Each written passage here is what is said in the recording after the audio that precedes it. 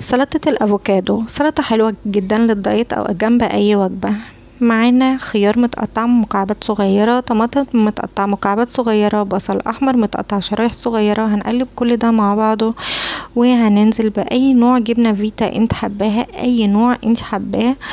تهرسيها كده شوية وتنزليها. وآخر حاجة ننزل الأفوكادو. وهنبدأ بقى نعمل لها dressing أي dressing انت حباه. زيت زيتون ليمون ملح حاجة تكون سهلة يعني عليكي وانت متقبلة طعمها. وبس. سلطة الأفوكادو بتاعتنا خلصت. وبألف هنا وشفا. ولو عجبكم الفيديو ياريت تعملوا like و share و subscribe على قناتي. كوكو لنا والسلام عليكم ورحمة الله وبركاته.